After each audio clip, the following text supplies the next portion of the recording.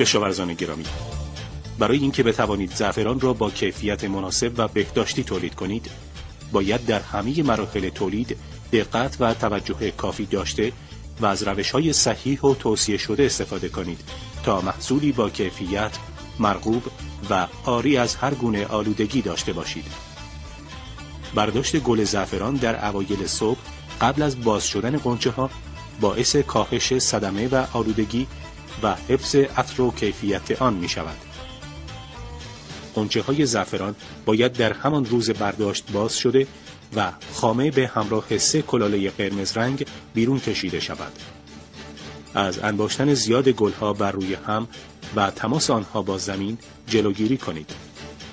از کیسه های پلاستیکی و وسایلی که قبلا از آنها به منظور نگهداری یا حمل کود و مواد دیگر استفاده شده برای حمل گل از مزرعه تا محل باز کردن استفاده نکنید.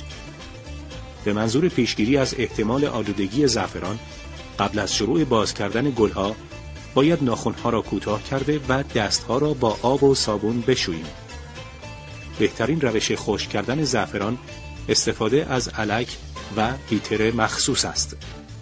از خشک کردن زعفران بر روی کاغذ روزنامه خودداری کنید چون متنهای چاپی دارای سرب است و باعث آلودگی زعفران می شود. وجود مو، پرز و هر گونه مواد خارجی دیگر در زعفران باعث کاهش مقبولیت و بازارپسندی آن می شود.